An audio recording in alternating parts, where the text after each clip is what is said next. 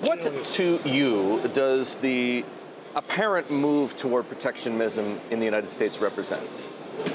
It's not only U.S. phenomenon. Unfortunately, we see certain swing toward protectionism everywhere in the world, which is driven by the fact uh, that um, there is certain dissatisfaction of uh, global uh, globalism and uh, uh, global trade.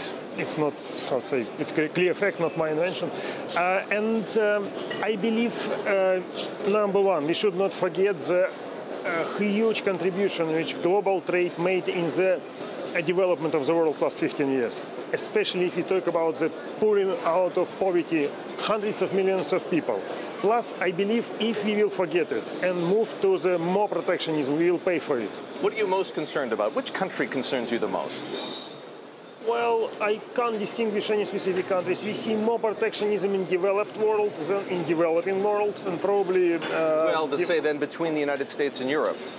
Not, not, not, necessarily, but developed world demonstrates more adherence. But uh, I believe that uh, I'm afraid we see some kind of reciprocity, and more and more countries are engaged in it. Everybody swears that it should be no protectionism, but we see growing number so of. is that what you expect? That we'll see a domino tumble hope, of tariffs? Well, I don't know. So far, we observe this trend, but I hope that it will be enough uh, wisdom and common sense among politicians and policymakers to stop it. At least I believe that uh, open dialogue about it could be helpful because if everybody does it, probably makes sense to discuss and at least impose certain rules on this, just to make it more transparent and rule-based. For example, we have anti-dumping and anti-dumping measures and uh, anti-dumping procedures, which supposed to be uh, the measures against unfair trade. But we see more and more examples when anti-dumping is used as a protectionism measure, just through the technicalities and play with the data gathering, assessments and so on.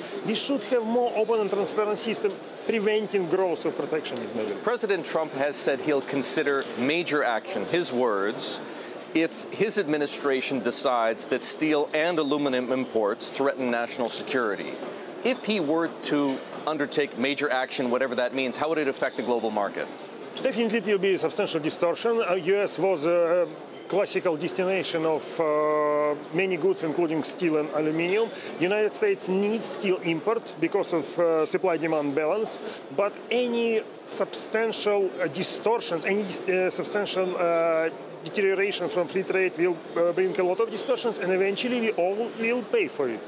He has also said, I'm speaking of President Trump, of course, that he wants the U.S. government and American companies to buy American when it comes to steel. Now, Severstal is no longer a U.S. steel producer, but given your experience there, will a Buy American policy really help U.S. steel suppliers? Well, difficult to say. Maybe short term it could make some impact, but on the long run, A, it will definitely undermine the free trade, level playing field of competition which will be reflected in less motivation in improvement of the efficiency of American steelmakers. And at the end, it will trigger some reciprocal trade actions and it will lead to the, uh, how say, barriers for efficiency improvements and growth of competitiveness in the world.